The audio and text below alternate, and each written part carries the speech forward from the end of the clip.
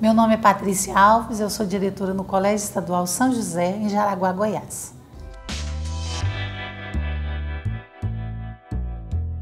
Muitos dos nossos alunos vêm de famílias totalmente desestruturadas. São filhos de pais alcoólatras, usuários, traficantes, pais que estão presos, é, mães que abandonam os filhos e que o vizinho acolhe, mães que abandonam os filhos e que o padrasto passa a cuidar. E justamente por isso há uma falta de participação da família na escola, o que estava ocasionando a infrequência escolar.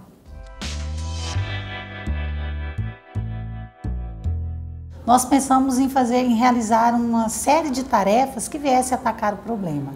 No primeiro momento, a gente enviou bilhete para os pais, dizendo da infrequência dos filhos e que eles precisavam comparecer urgentemente na escola. Então a gente teve uma conversa bem aberta com esses pais. Eles assinaram um termo de compromisso, se comprometendo que os, que os filhos não faltariam mais. No segundo momento, alguns jovens alunos visitaram as casas dos pais dos alunos que não haviam comparecido. É, eu, como diretora, fiz uma fala na rádio da cidade, que é uma rádio muito ouvida né, naquela comunidade.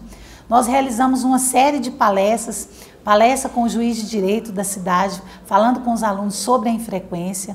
É, fizemos isso num dia de prova, que a gente sabia que todos os alunos estavam na escola, a gente precisava alcançar todos os alunos.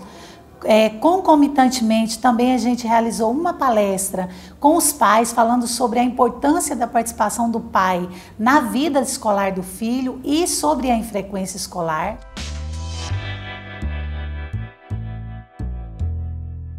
A escola realiza né, diariamente uma frequência, a própria secretaria vai na sala de aula e a gente percebeu que de quando a gente começou a realizar as tarefas, de mais ou menos um mês para cá, a gente percebeu assim um, uma mudança de mais ou menos quase 80% dos alunos que estavam infrequentes voltaram. Então a gente faz esse acompanhamento via frequência e o que a gente observou, que a gente achou que foi muito interessante, é que geralmente quando tem a semana de provas, quando acabam as provas, é que a infrequência é maior. Eu acho que eles pensam assim: já terminaram as provas, agora vamos dar uma relaxada. E o que a gente percebeu é que eles não não, evadi, não, não deixaram de ir na escola. Terminaram as provas e eles continuam frequentando a escola.